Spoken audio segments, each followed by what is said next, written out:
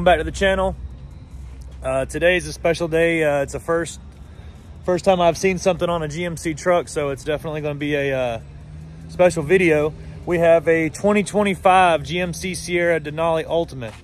Now, I've probably filmed 20 or 30 of these Denali Ultimates over the last you know year or two, and uh, the first time I've seen this, and I'm going to show you what I'm talking about. so about. here she is, uh, Denali Ultimate 2025. This is a uh, this is different because the grill, right? So you're used to this Vader chrome, which is this dark chrome color that we have on the grill and the upper part of the grill and lower part of the grill on the 2024 Denali Ultimate.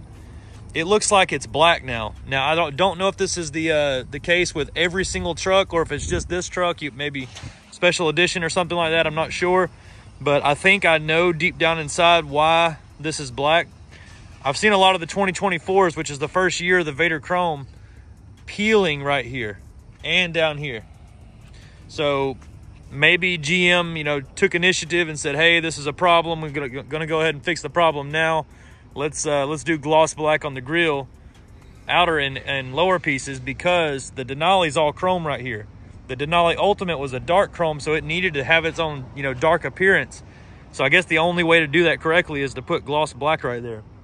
They did, however, leave this, so I'm assuming that they're not having any peeling issues with this part of the grill. But still, the truck looks amazing. Uh, today we're going to be doing a two and a half inch SuspensionMAXX leveling kit. It's the red torsion keys that you see in my other videos.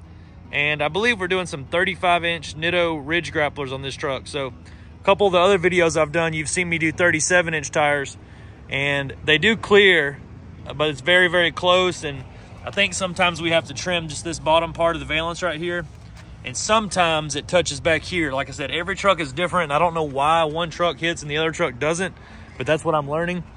Uh, the 35's clear all the way on these trucks. So uh, that's the, what he wanted to do. He wanted to have, you know, room to flex. And if he needs to go off road or something like that, you don't have to worry about the tire touching the fender, which I totally understand. I did say in my last video that the uh, mirrors on a Denali Ultimate were black right here, and I was wrong. They're chrome too. Just something in my memory that was messed up there. Uh, truck looks uh, about the same to me overall, minus the black trim on the front grille. The interior looks about the same to me. Absolutely gorgeous. I don't know what they're going to do to top this because it's just perfect. Have your Denali Ultimate badges here and here. And of course, those uh, those coordinates right there.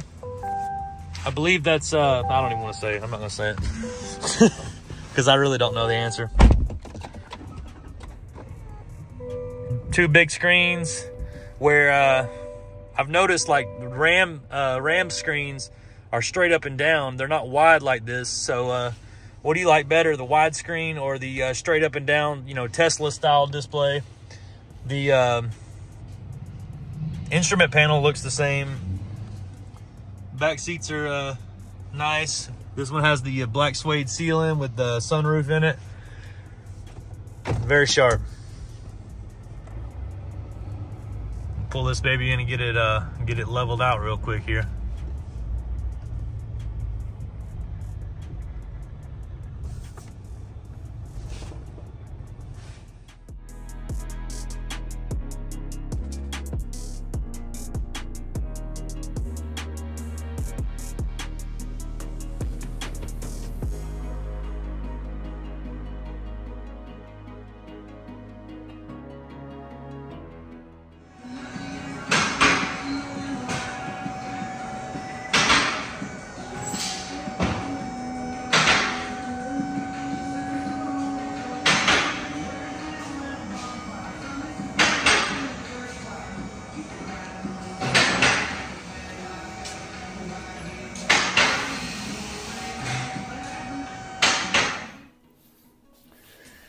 All right, so let me take you through the reasons why I think SuspensionMAXX is the best torsion key for your GM 2500 truck.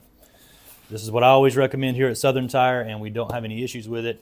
Uh, not to downplay any other brand, right? Rough Country, Cognito, whoever, like I said, they all make a good torsion key. But here's the reasons why I think this one's better.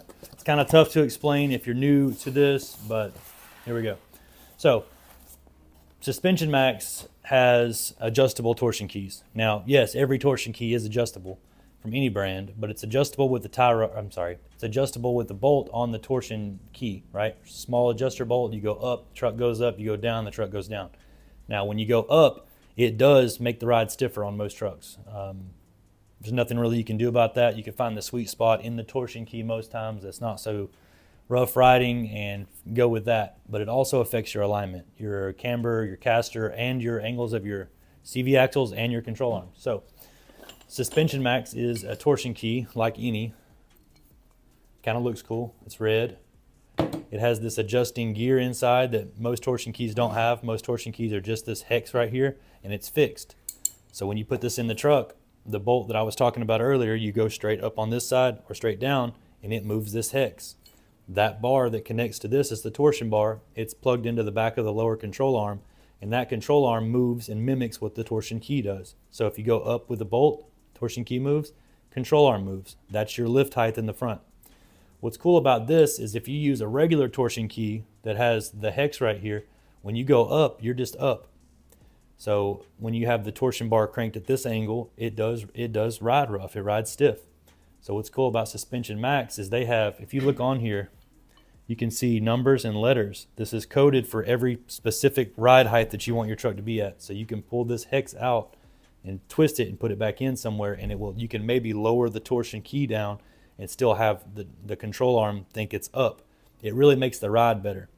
Another thing is most torsion keys have a little bit of a gap in between where the torsion bar goes into here and this hex. And that also creates a ride issue when you go over train tracks, potholes, things like that. You really feel the slop in the suspension. This tightens that all up.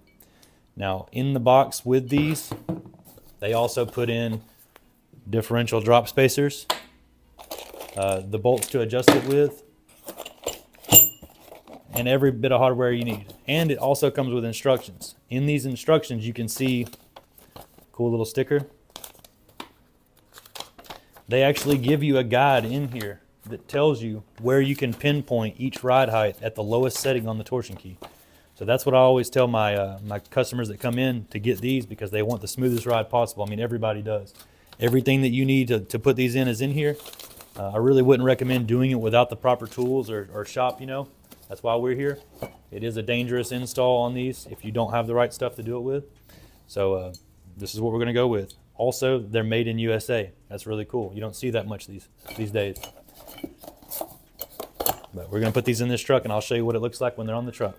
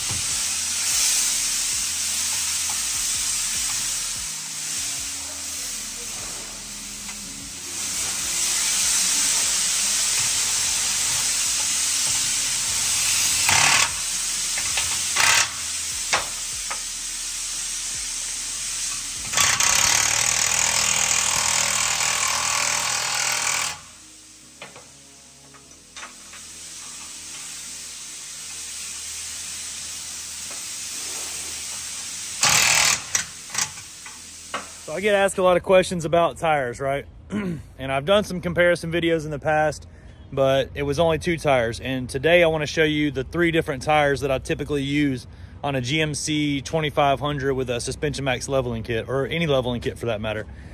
So uh, I guess I'll go over the details and let you know and show you the differences here. All right, so what I have here for you is three different tires today.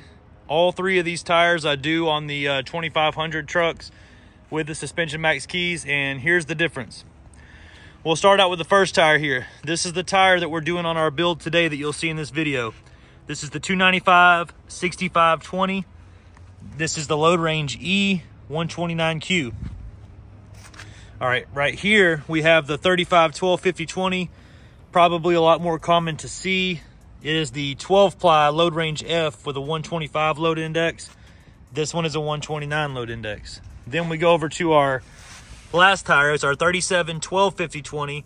This is the load range E 10 ply 126 load index. So I probably should have had my numbers right on this uh, before I did this part of the video, but I'm just gonna kind of wing it for you.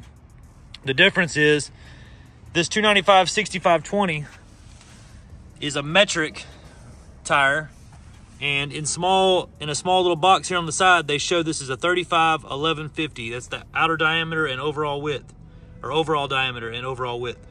35 1150 okay now we go to our 35 12 50 20 obviously it's 35 inches tall 12 and a half inches wide.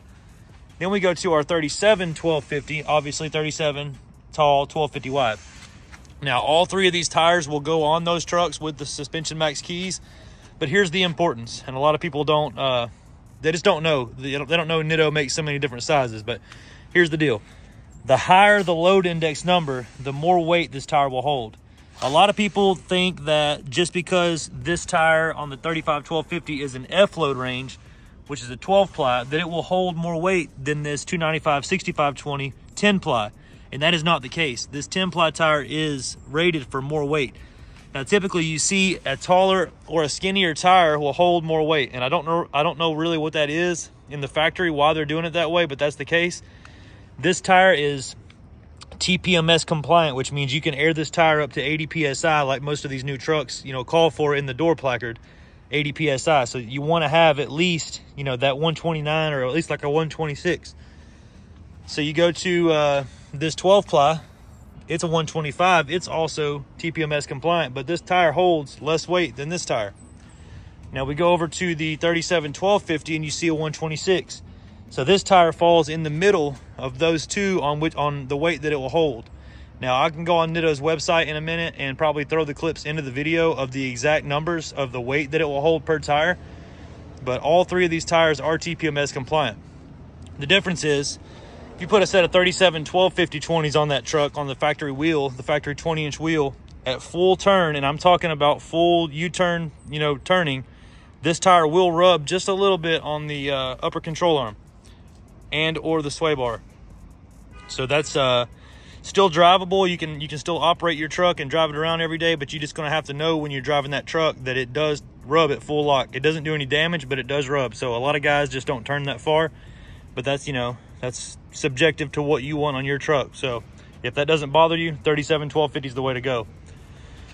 Moving back over to the 35 1250, this tire also clears all the way except for at full lock it does rub as well because of the offset of that factory wheel this does touch on the control arm just a just a hair moving back over to our 295 6520 if you notice the height of that and the 35 are the same this tire is a little bit more narrow so that actually clears up that rubbing on the control arm this 295 65 will go directly on that truck with a leveling kit no rub no modification so which one's for you you're just going to have to make that decision on your own.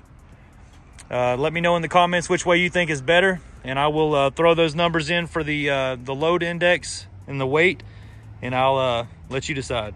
So while we're still talking about the Nitto Ridge Grappler tire, one detail that I left out of the earlier clip was that this tire does come with two optional sidewalls. If you look at this side, it has this design right here on the side, which is more popular, definitely, uh, but then the alternative is flip the tire around the other way and you get this uh, this other design on the sidewall, which resembles more what the Nitto Trail Grappler sidewall looks like. So this is just one thing, you know, if you're the consumer and you're buying this set of tires, it's really whatever you want. If you like this side better, then we can put that side out for you. Uh, if you like this side better, we can put this side out for you. Notice on this side though, it's a little bit more of a, a flat color that's not as glossy on this side. The reason being is Nitto puts this uh, almost like a clear coat on the tires when they're new to make this side shine a little bit more. Now, obviously in the in the future, once they're on the truck for a little while, that, that coating wears off, but it's just something cool to think about when you put them on new. If you want it to go ahead and shine, put this side out.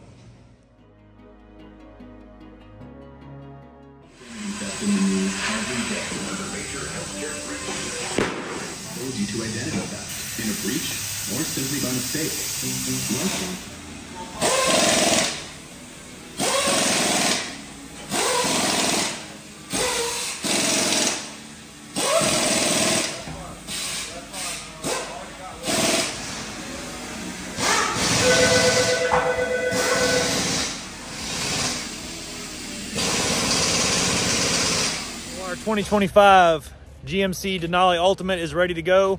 Uh, just took you through the uh, SuspensionMAXX keys and the 295 6520 Nitto Ridge Grappler. This is a 35 inch tire, but it's only 11 and a half inches wide. So that means that it fits and clears at full turn and full lock on this truck. Once again, I want to say I appreciate you guys for coming from so far away to get all this work done. And I appreciate you watching the channel and liking and subscribing. This is a nice, nice truck. So if you guys have any questions about this truck or this build, um, you want to know a price on the tires or the torsion keys or anything like that, just give me a call. My number is 678-994-9180. We're at Southern Tire in McDonough, Georgia. There's your uh, 295 6520 Nitto Ridge Grappler. And then if you look under here, there's our SuspensionMAXX torsion keys right there. A lot of people ask me about the angles of the truck after the uh, torsion keys. Angles of the axle still look great. And then also a lot of people ask about upper control arms. The angle of your upper control arm is still nice too. So don't stress. Don't think that you actually need to buy upper control arms. They're a nice addition for looks, but at this height, you do not need them.